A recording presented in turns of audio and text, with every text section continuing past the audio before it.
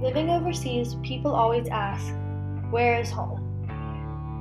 Living overseas, many people don't know the answer to that question. For me, home is California, USA.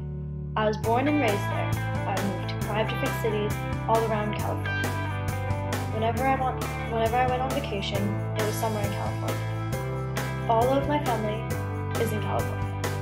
It's home to my favorite things, places, and people. California is known for obviously its beaches and sun and beauty, but also for its agriculture. Because of for the demands for agriculture, lots of water is needed for the crops. Lots.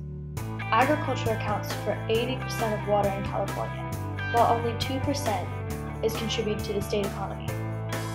In the year of 2013, California suffered its driest year ever since they started recording rainfall in 1849.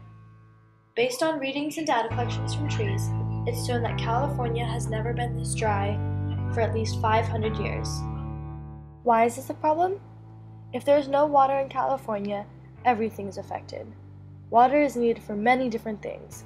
Different species need it to live. We humans need it for life in general. The economy needs it for tourism, etc.